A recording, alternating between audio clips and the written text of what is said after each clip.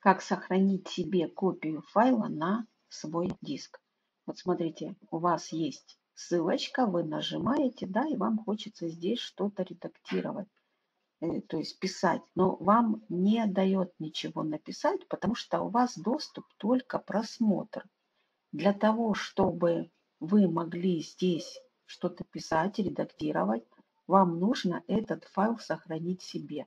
Первый вариант – это вы нажимаете на файл и скачать, и выбираете, вот в данном случае Microsoft Excel, если это будет Word, здесь будет написано Word, и скачиваете себе на компьютер. Но для меня лично не так удобно работать с файлами. Мне удобнее, когда они, как в данном случае, они на Google диске. Видите? Док, Google документы. Значит, нам нужно что? Нам нужно залогиниться, то есть войти в Google. Нажимаете «Войти», пишите логин, свой пароль. Так, сейчас.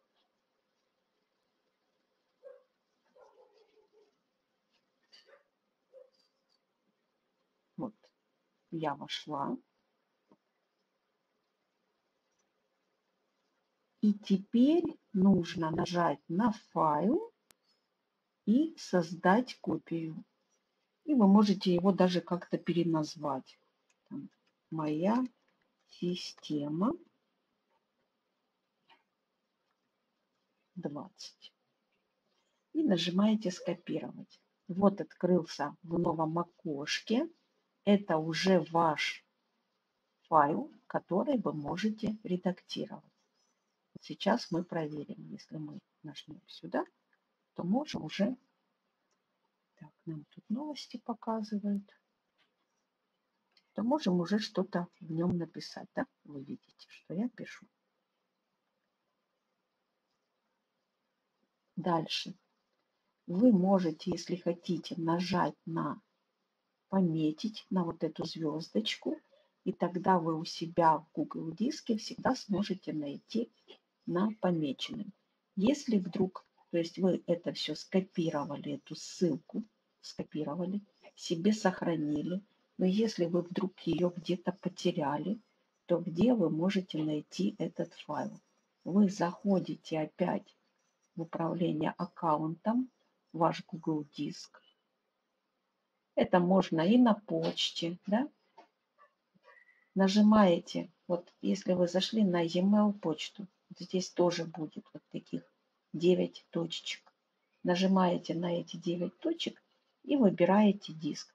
Может быть, он будет у вас где-то ниже. Нажимаете на диск. Все, я вот сейчас попала на наш диск. Так, здесь рекомендации дают. Мы это можем закрыть пожалуйста, моя система. Вы теперь нажимаете, всегда открываете и работаете дальше. То есть заходите в Google Диск и здесь будут эти ваши файлы. Также мы их пометили, поэтому когда нажимаем помеченные, то вот они у нас есть помеченные.